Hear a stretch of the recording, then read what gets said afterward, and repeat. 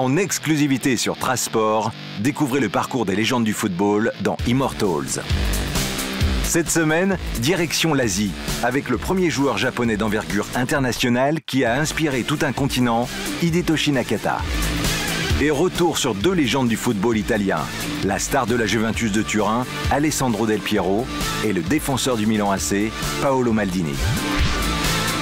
Immortals, découvrez la vie des légendes du football en exclusivité sur Trasport. Trace. We love champions.